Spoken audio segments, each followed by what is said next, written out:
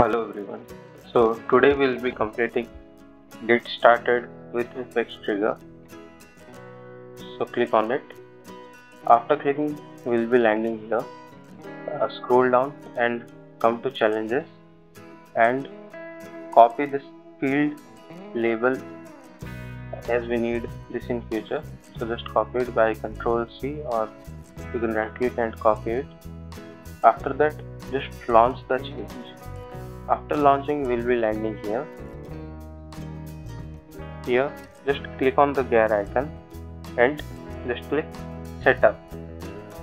After clicking we'll be landing somewhere here. Click on object manager. It's in the top left corner.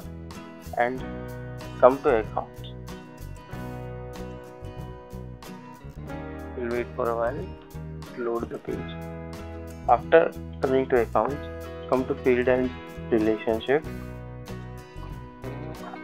After that click on new. And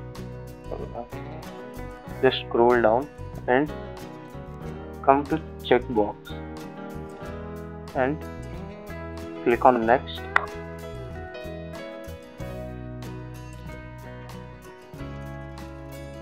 Yep after that paste what we have copied.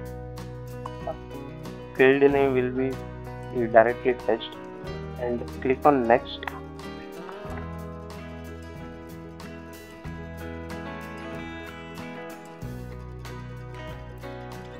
I'll just wait for a while and uh, click on next in the right corner and save it after that just click on the gear icon and go to developer console. After coming here uh, go to file uh, click on new and click on apex trigger.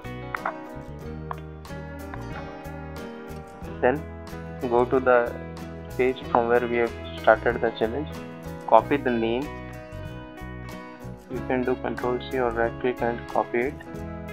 After that go to developer console and paste what we have copied. After that click on accounts and submit it.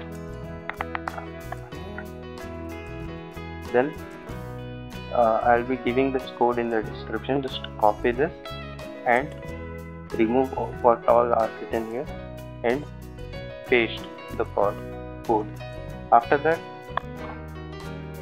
just save the challenge. Uh, as you can see here saving it's coming. Yeah now it's saved. Now just go to the previous uh, uh, page and here the dots are there. Just click on it and come to sales the dot is known as app launcher. You can click and come to save. Then come to accounts. Then here recently viewed it's coming.